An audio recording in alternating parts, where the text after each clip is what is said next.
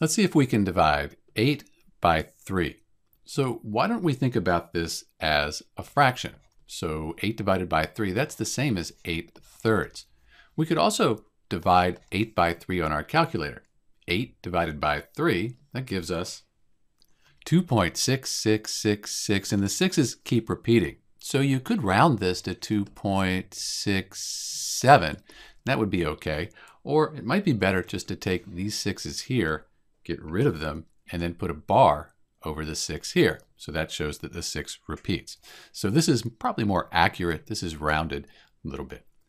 You could also do this longhand. You could take 8 and see how many times 3 goes into 8.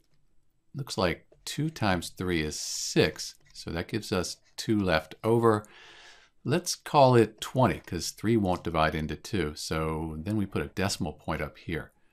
How about 6 times 3? That's 18. Subtract and we get 2. Let's call it 20. We move over 1. 6 times 3 is 18. We subtract and get 2. Call it 20. And you can see the 6's, they just keep going like we found up here. So when you divide 8 by 3, you get the fraction 8 thirds, or you get the number 2.6 with the 6's repeating. And you could round that to 2.67 as well. This is Dr. B. Thanks for watching.